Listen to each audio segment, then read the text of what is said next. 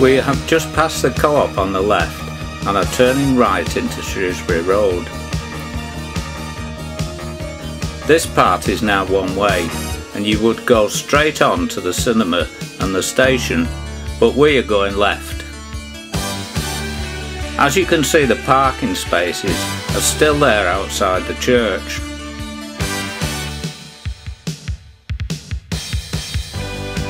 We are now going to go down Church Street and some extra parking spaces have been provided on the left.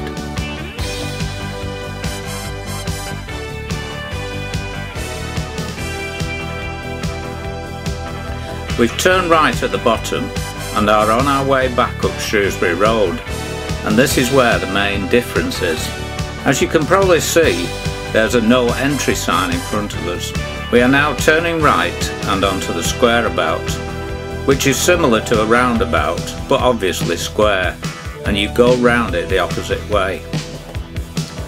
The parking bays outside the bank have now moved to the opposite side of the road you can turn left or right at the junction.